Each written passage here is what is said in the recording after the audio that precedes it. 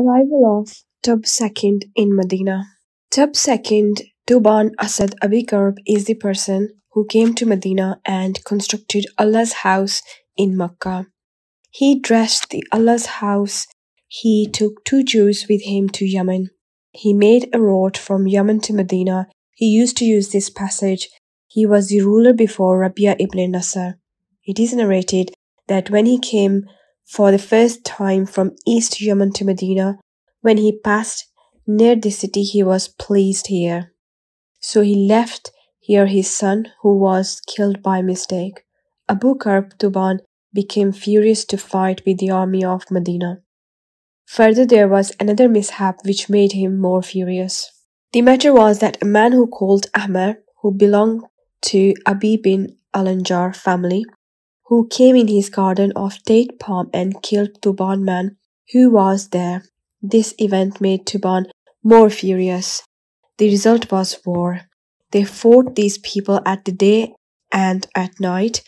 These people host them. Tubi was impressed by the act of people of Medina whom he considered enemy.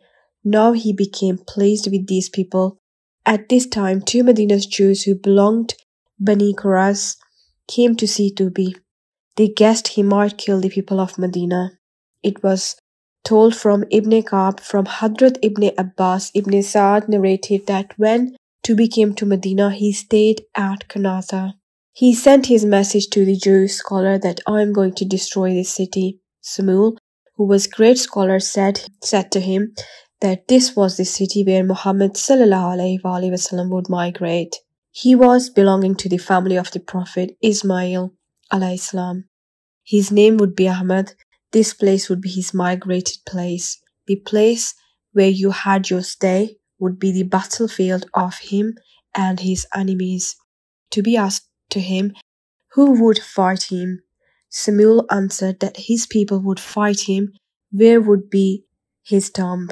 He answered that it would be in the city. What would be the result of his fight? He questioned to Samuel. He would win the battle and sometime his enemy would be the winner. Where you stand now was the place of his friend's grave.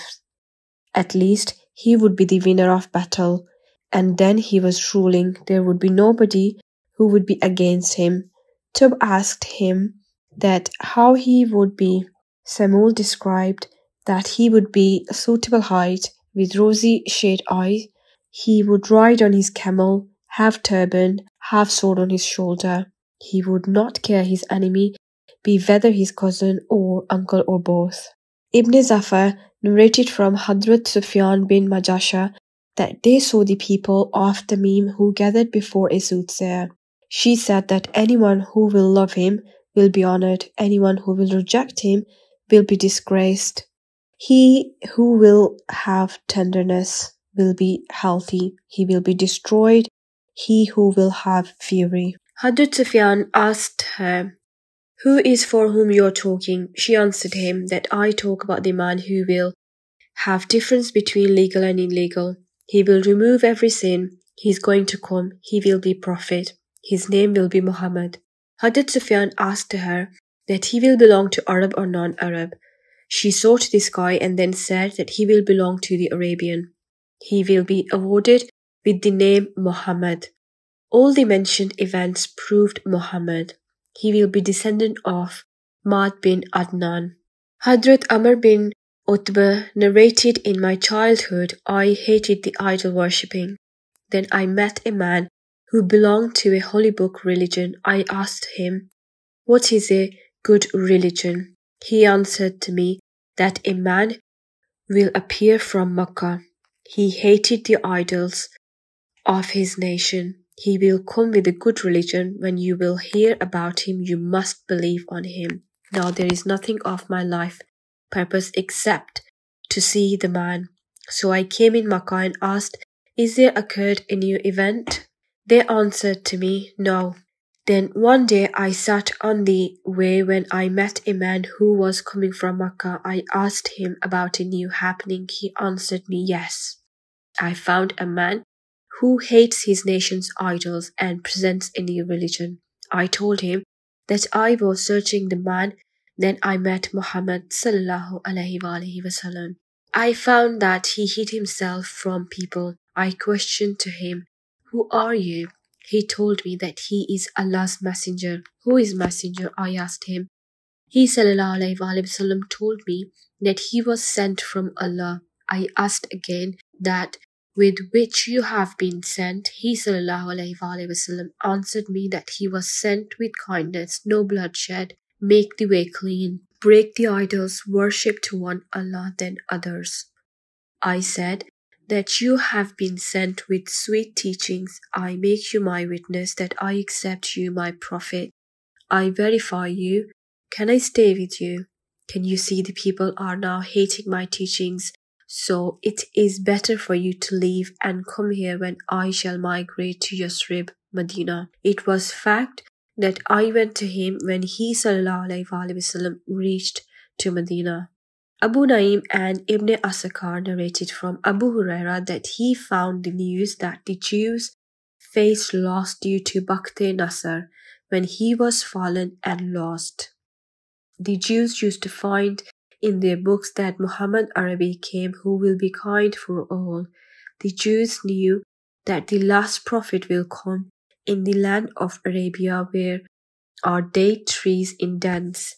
The Jews were in search of such city Yasrib, a tribe who belonged to them. They searched of Muhammad sallallahu alaihi wasallam. They knew that Muhammad sallallahu alaihi wasallam was true. They believed on him, but at the end their race did not college. Abu Naim narrated from Hadrat Hassan that he said, I was at home. I was seven years old. I kept in my mind what I listened or heard. Once I was with my father that we met a young man who was called Sabath bin Zahar, who said that Banu Quraysh Jew debated me that a holy prophet is going to come. He will have a book as we have. He will kill you as Ad and Am were killed. Hadrat Hassan narrated that by God I was on a high mount.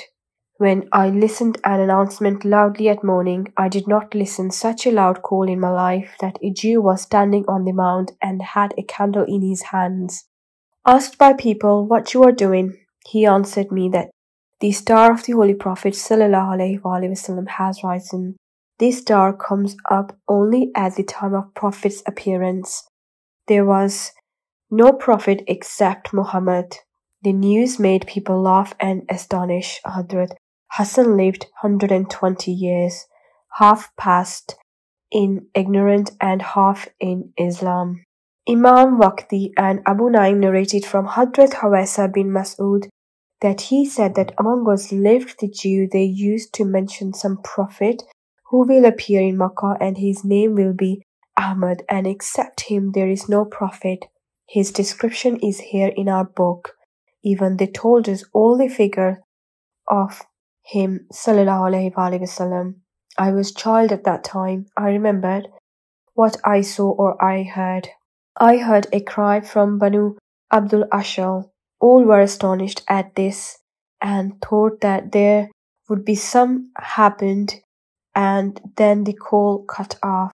We understood that call that someone was calling that, oh, O Yasrib, this is the star of Ahmed sallallahu alaihi wasallam who had become appeared in this world. We were all surprised at this, and then we held this after a time we forgot all this matter. A nation passed, then another, and I became aged. Then I heard once again the same call, O the people of Yasrib, Muhammad Arabi has come. The crown of prophet has been blessed him. For him came the same angel who came to Moses, Islam. Then I heard that Makkah, there is the birth of a certain man who claimed that he was a prophet.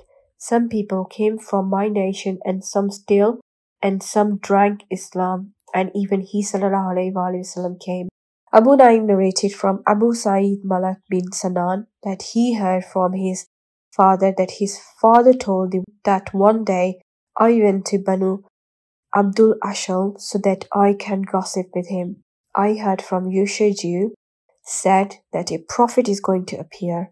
His name will be Ahmad sallallahu alaihi wasallam. His stay will be holy harm. He was asked about his description, answered, He that he will have suitable height, have reddish eyes, have some wrapping dress, ride camel, have side sword, this city will be his migrated city. I returned to my nation. It was a surprising. Someone said that this is not said by Yushe, but also all the Jew have same opinion. Then I met Banu Qurayz. I saw him that the people gathered there, and all were busy in talking about Muhammad sallallahu alaihi wasallam. Zubair bin Batua said that star has risen. It is used to appear at that time of Prophet's coming. This was the last star now, only Muhammad was to come. Ibn Asakar narrated that Abu Bakr accepted Islam due to the holy teaching when Hadrat Abu Bakr went to Syria for trade. He saw a dream. That dream was told by Sipai's man Mong. He asked Abu Bakr anha that where have ye come? Hadrat Abu Bakr answered that I belong to the Quraysh tribe. Asked what you are doing. He said trading. The monk suddenly said that Allah has been true your dream. Very soon a prophet is going to be in your nation. You will be his follower. After his death you will become caliph. Hadrat Abu Bakr has this secret to himself, not told to anyone till Hadrat Muhammad wasallam came. He asked that you have any proof. Hadrat Muhammad answered him that you can remind the dream of Syria. Now at this, Hadrat Abu Bakr accepts Islam. Abu Naim and Imam Bayhaqi narrated from Afir bin Saif bin Zijazan that when Saif overcame Ethiopia, Hadrat Muhammad Sallam's age was six years. Some Arabian poets and leaders went to him and told that how he overcame this for his nation. The Quraysh tribe also went to him. This group include Abdul Muttalib bin Hashim, Umayyah bin Abd Shams, Abdullah bin Jadan, Asad bin Abd al-Adi, Wahab bin Abd Manaf, and Qasi bin Abd al-Dar. When the permission was got from Saif, who was in his palace. About his palace, said Umayyah bin Abi Salat al-Sakfi that relished to take the bear in the palace. A crown decorated with jewels you wear, a decent house for you will be. Further said, Take bear with comfort. The enemy were killed. Walk with grace with your true dress. These are the features which means that this is not the bowl of milk which makes pee after drinking. The king used pungent perfume. He was glad. On his head used he a sweet white smile. He wore two dresses, one for covering the body and other for head. He held a sword in his front. Left and right he had ministers and leaders whom told about the status of Quraysh. When Hadrat Abdul Muttalib went near to the king and tried to get the permission for talking, the king said, If you have manner to talk with king, you took permission. Hadrat Muttalib said that, O Lord, you have high status, live with zeal. May Allah bless you, good fortune.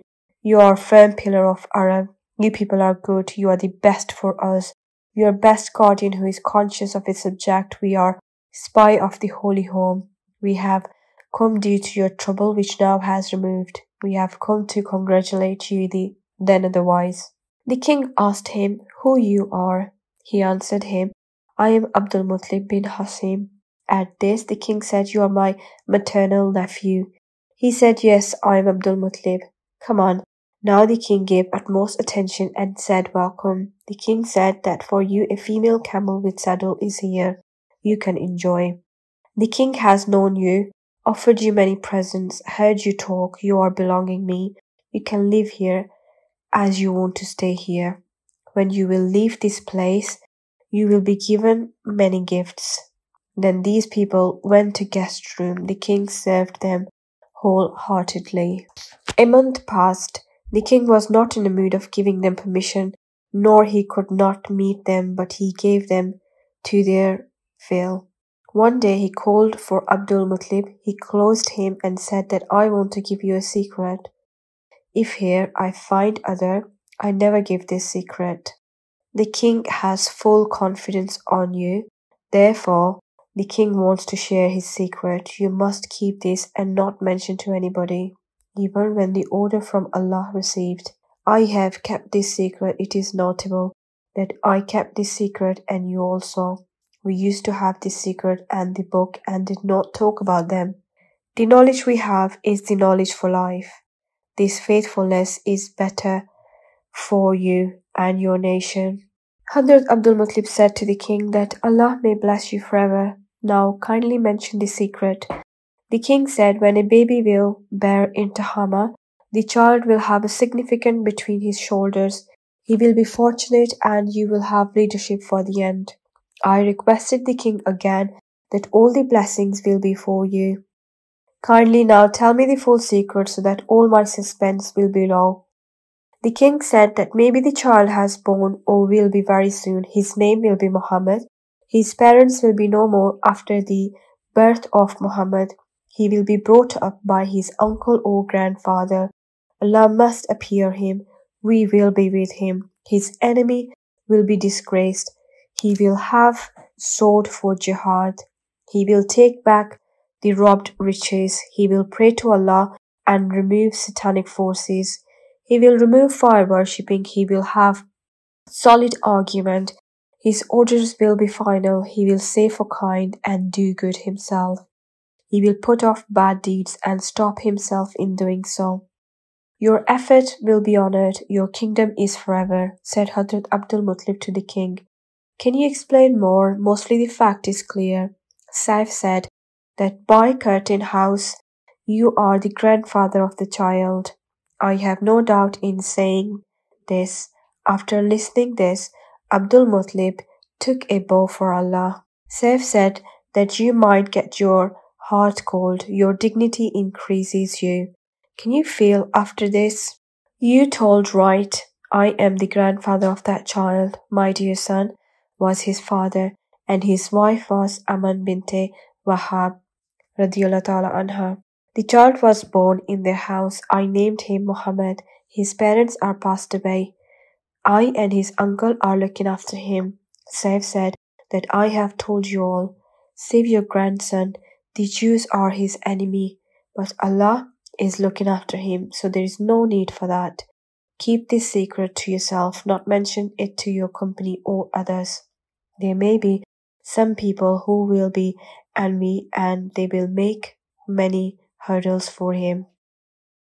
The king wished that would that I would have more days my life to see Muhammad and go to Yathrib to tell the people to accept him as their prophet. Then the king has given them ten slave girls, ten black slaves, and much more riches, with one hundred camels for every member of that caravan, and the king gave Hadrat Abdul Muttalib ten times more than all others with the command that you must see me the next year with that child and his doings. But alas the king, Saif died before a year.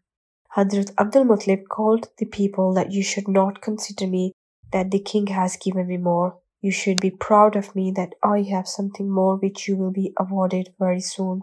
The riches will be finished one day except that Imam Mahki narrated from Kulbi, Abu Salah and Hadrat Abbas anha. It was narrated from Abu Naim then Muhammad bin Umar that one day Hadrat Abdul Muttalib sat in solitude room. Here he met priest who was his friend.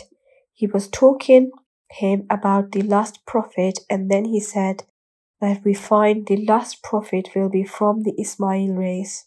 This will be his city he described his description when he saw Muhammad وسلم, and judged him and said, He is the last prophet. What is he to you? Hadrat Abdul Muttalib said that he is my son. The priest said no. Then Hadrat Abdul Muttalib said that he is my grandson. The priest said that his father has died till now. Hadrat Abdul Muttalib answered that when he was in his mother's womb, his father died. The priest said, You are right. Then Hadrat Abdul Muttalib said to his sons, O my sons, Have you listened what he said about him? Now protect him.